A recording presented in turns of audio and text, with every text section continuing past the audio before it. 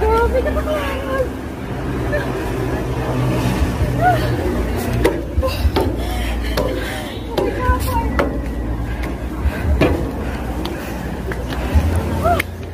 Grabe guys.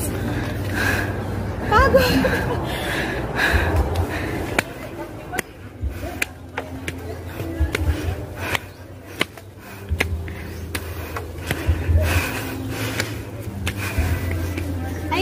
Nandito po tayo guys sa GB Resort.